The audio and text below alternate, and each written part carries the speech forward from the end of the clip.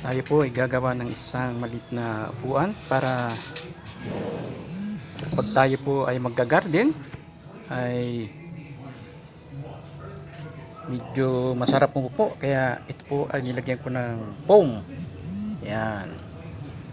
Tsaka kung tayo po ay maglalaba pag tayo ay pinalaba ni commander ay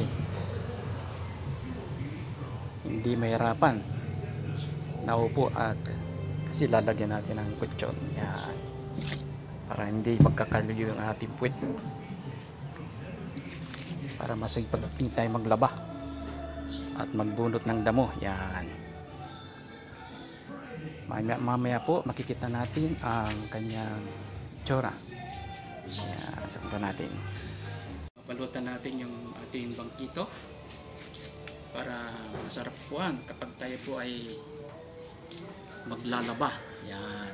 Siyempre kapag tayo po ay magagarden lagyan po natin ng kutsyon yan. Ah.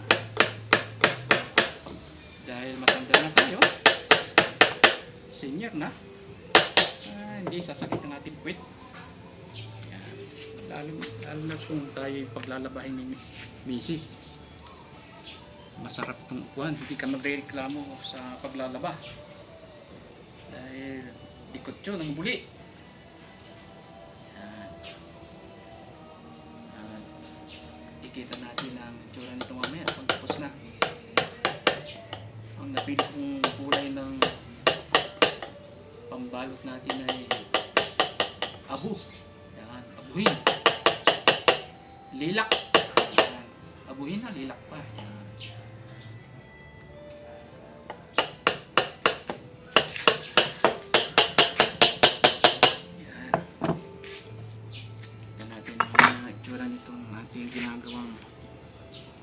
Bangkito. Ano po?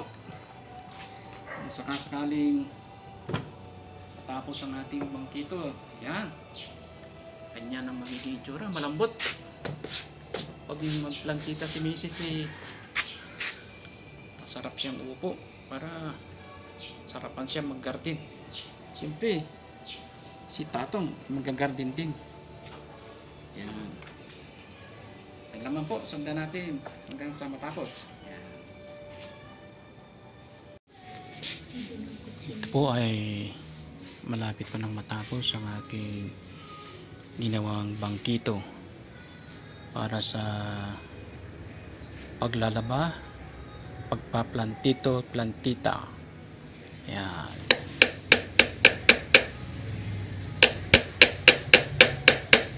Malaki na po siya.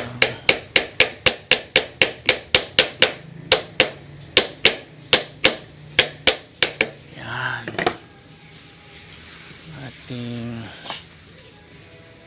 gagawing bangkito na napakasusi.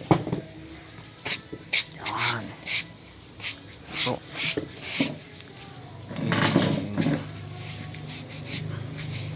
bangkito. At ito po ay atin ang masusubukan mamaya. Yan. Napakagandang. Bangkito po. Ano po? Ah, made in San Nicolas. Made in San Nicolas, Florida, USA. Aha, USA. Ayan na po siya.